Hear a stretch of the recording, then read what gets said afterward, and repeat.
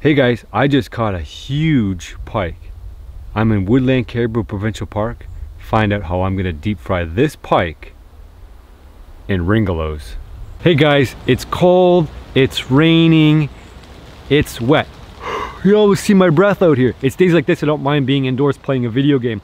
You guys know to bang out this content, I need to thank my sponsors. I'd like to introduce to you a game, a browser-based strategy game called Throne Kingdom at War. I was immediately caught by the gameplay. It might seem risky to stylize the game in an old-fashioned way, but it worked out just fine. You guys check it out for yourselves. Historic castles, endless battles, fighting over resources, and robbing caravans, but in a modern interpretation with cool graphics and other social features.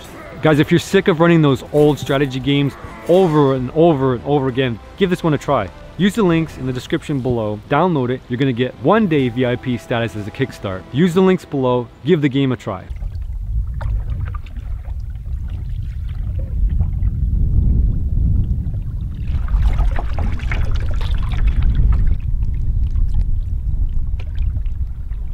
Jared convinced me to catch dirty pike. Hmm. So that's what we're eating for breakfast, the dirty pike. Got no leader on.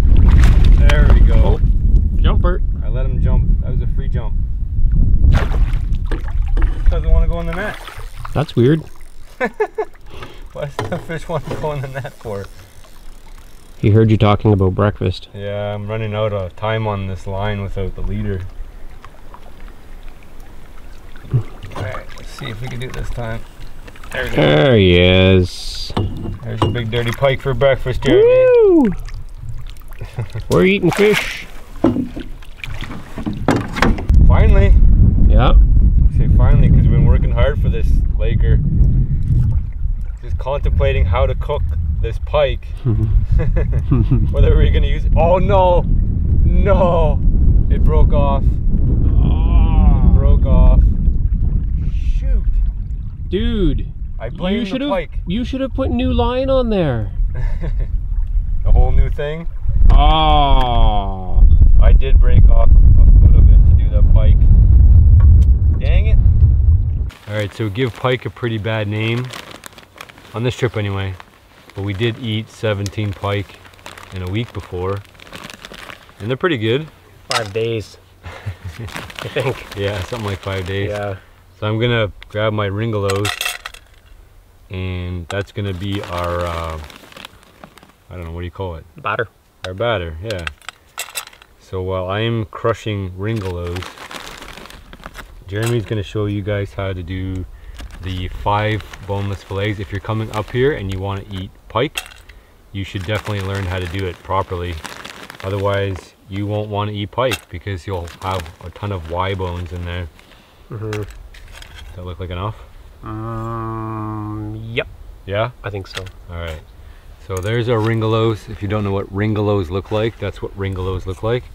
And get rid of that. Uh, we have a paddle to uh, work as a base. You can obviously do it on the rocks or anywhere you want. We're just out of the wind now for purpose of audio. Yeah. All right. Cool. So you're set to go, I think. Yeah. Do you want to just show our hands? Because Yeah. right now people can't see the pike. Sure. It's actually not in the frame. Okay. I'll move the camera. All right. All right. I might have to crush these by hand. These are Get a rock. Get a rock, man. harder than I thought. So first things first, if you want to eat the skin of the pike, then you need to scale it. Uh, we're not going to eat the skin, so we're not going to scale it. We're going to take fillets off of the skin. So you want to find where the bony part of the head ends. You cut down and a little bit backwards. Oh, I'm still too far there we are, right there. Cut along the spine, just follow it. You'll feel it. They're pretty big spine bones.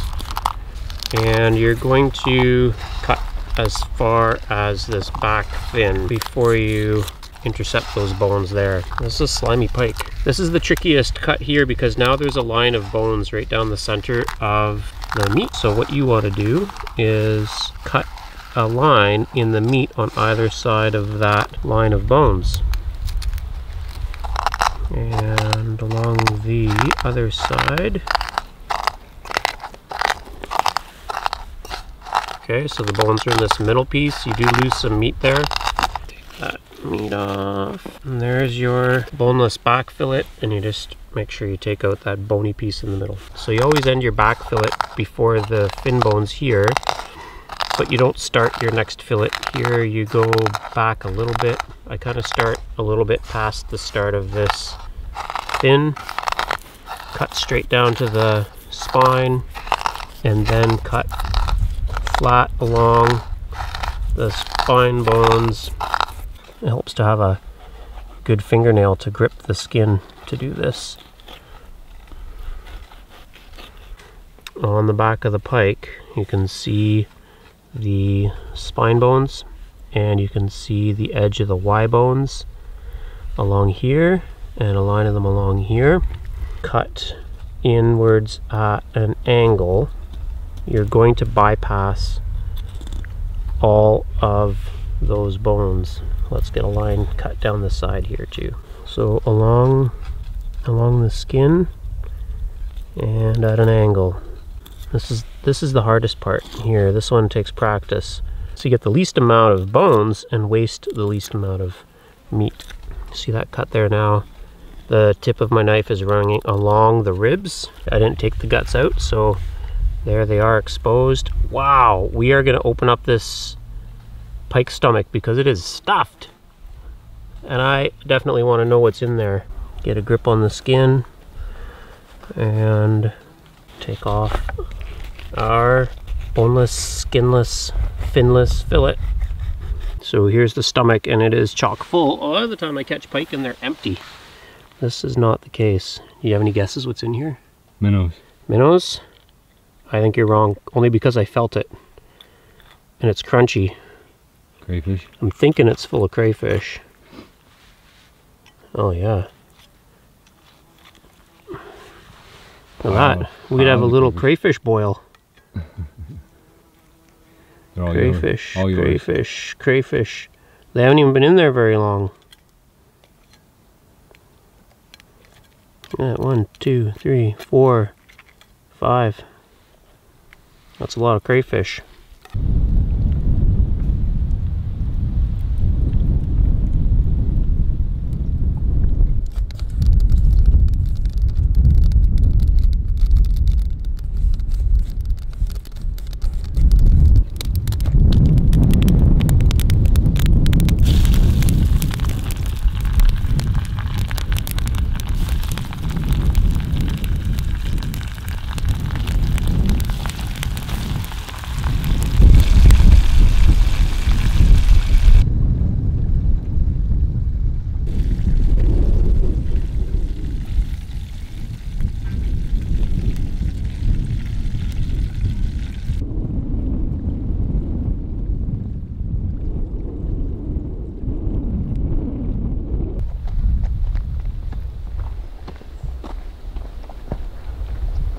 Uh, there's our Ringalo pike. And we have a side of Wadobo rice. We have no seasoning really for the rice. Oh, we didn't even have butter left for it. No. My mouth is watering for the Ringalo pike though. Yeah, it smelled really good. You didn't even try a piece yet? No, I haven't. Wow. Okay. It's super crispy. Like real good crispy too. Cheers. Yeah, cheers. Ringalo pike. The only thing we can manage to catch. Yeah, the Ringalos. I'm not sure I can tell it's hmm. Ringalos. Can you? Hot. No, I like the Ringalo flavor mostly baked out of it. What's crispy Maybe though? it's just a potato batter now. Maybe. That's good. It doesn't taste like Ringalo No, at all. Weird. just like potato. Yeah, I thought for sure we'd pick up at least hold on some of the spice. This would be good on the sandwich actually. Mm hmm Fish sandwich. Fish burger. Yeah. So um, we're in uh, Woodland Caribou Provincial Park. I think I mentioned that before a few times probably in this video. It's easy to catch fish here. Kind of goofing around. It's hard to catch lake trout out of this lake right now. In the wind especially. The wind is killing us. Absolutely killing us. Mm -hmm. we know there's a nice hole there. That's where I got had that lake trout on and lost it. Hmm. And I caught Um, one there the other day. Yeah, Jared caught one trolling on her first day. very first day. yeah, first day. And yeah, we'll figure we'll figure out where the holes are, and then we'll try to stay on them. But it's like it's it's like arm wrestling constantly. The wind, so tricky. But there are lots of lake trout in here. It's hard to jig and paddle at the same time. yeah, and you, you gotta set the hook right away, so you don't have the line, you know, the, the rod in your hand. You don't know if you got a bite, because the, those lake trout are gonna grab those jigs, but then they're gonna let go right away. Mm-hmm. So if you're not feeling the line all the time, and we did a little bit of like the paddling with the one hand and the jigging with the one hand. Pretty cool little beach here, Yeah, it's uh, it's like a good swimming spot. tucked out of the way, no wind. You see any caribou prints in the tracks yet? Well, there were definitely tracks out in the sand, in the water. A little look, eh? Go for a stroll on the beach. So that's one of the things we haven't found yet is a caribou.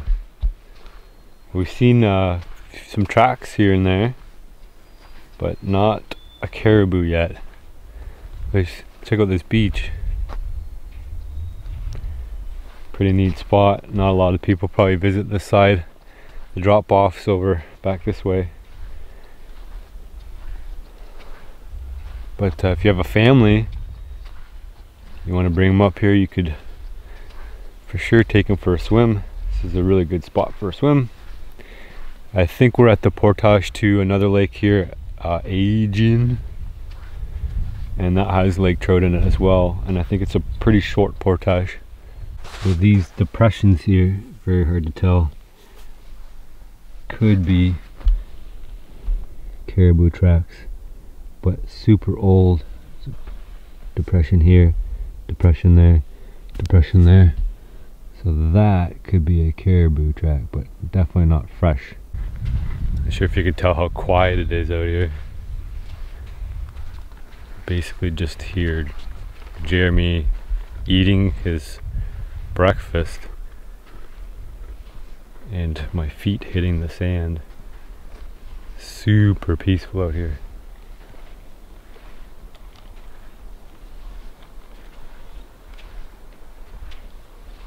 So if you're looking for solitude and you're trying to get out of the city, all the city noises, this would be the place to go.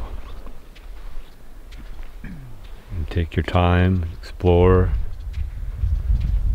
Kind of what today's all about. Relaxing, taking our time, exploring. No place to be in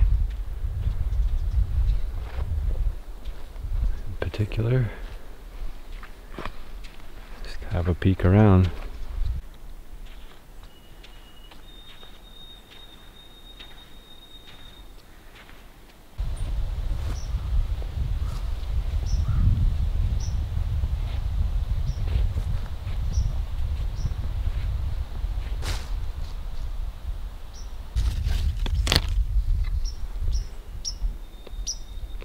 They're not quite, quite right, but oh, bad.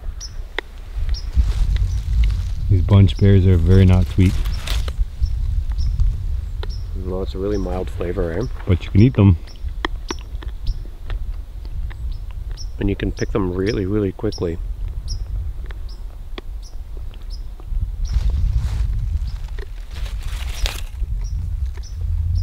Strengthen your teeth on them.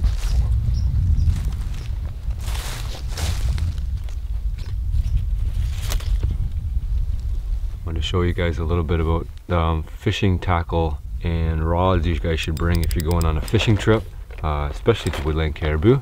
Um, I'll start with the rods. I've got a, this is a, I guess it's a Sport Triumph Fishing. I don't even know where I got this rod from, but it's, um, what does it say, medium light power, seven foot, fast action, four to 10 pound test. So this is my, this is my creek fishing rod that I normally use. It's uh, very sensitive. I think I have six pound test on line on here with a Sahara Shimano rod, uh, reel, and I've got mono. I always use mono. I have never switched to braided. I don't. I find there's no reason to go braided. I do really appreciate the sensitivity and the action of the mono. My second rod is a St. Croix Premium. It's uh, seven foot, medium power, fast action, but this is for six to 12 pound test line. There are some really big fish in woodland caribou. There was a 26 pound lake trout caught, uh, 42, 46 inch pike. Those are some massive fish. So when I fish for lake trout, I use this one. I have it rigged up with 10 pound test line.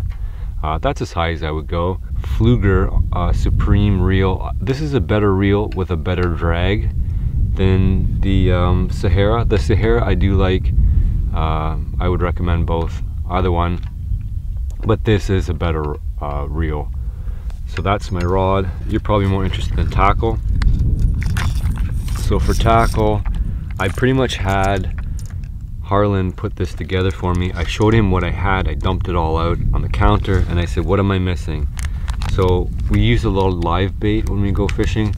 I have, um, I got some twister tails, four inch double tail Mr. Twister, natural design, all that stuff. That you're going to rig up onto your jigs. So you're gonna get a bunch of different colored jigs. I find the best uh, that's working here is the white. I find it stands out. Um, some of the water here are pretty tea stained. So I've tried the black. I didn't catch anything uh, on the black, I don't think. So I went back to the white, but you will play around with things and see what works for you. You should also bring some Rapalas with you. The Rapalas will work for lake trout. Uh, if they're up shallow in the spring, we've also caught them now in July, midsummer, on the wraps, but these will work for walleye too. So far, I've only used the Rapala, the jig for walleye, and uh, big 3 8 inch uh, heavy heavy jig head with the white twister tail for lake trout. That's it. And finally, um, a net. And that's completely optional. You can easily handle the walleye without a net. The lake trout you can handle without a net. Play them out uh, before you get to the boat, tire them out, and then you should be able to pick them up. If you're gonna try to go after big 42 inch pike, bring a net. If you're gonna try to land giant lake trout, bring a net. And if you wanna make sure you're eating fish, bring a net because you have the potential always to lose fish at the boat. Hope that gives you a good idea what you should bring to Woodland Caribou. And uh, we're just about to start our day. The wind's picking up, so we may get a lake trout fish in before the wind picks up too much. We got an overcast day today, but as always, we're gonna make the most of it. If you guys want to book a trip to Woodland Caribou, give Harlan a call. Let him know you watched this video because he wants to know obviously that sponsoring us to come out here is worthwhile to his business. Have I missed anything? You know this is Jeremy, One Wildcrafter. You can subscribe to him. You should subscribe to him. He cares. I don't care. You can subscribe to me. I don't care. Uh, well, we're on day seven? Yeah. Day seven of nine. We got a whole day tomorrow. We might do an adventure or we might just sleep. we'll see. But We always say we're going to take breaks and then we don't. We don't. We can take a break when we get home. Mm -hmm. That's my philosophy. Hmm. It's not as expensive to take a break at home. Watch a movie, sit on the couch, but here there's an opportunity that I don't get at home yeah. in my regular day life. So I am definitely going to take advantage of it. Um, I think that's it. There's a whole series of videos, obviously, you can go back and check those out. And if you watch till the end, what's the word I said last time? If you watched all the way to the end, you can write full stop. Full stop. So I know you watched the whole thing.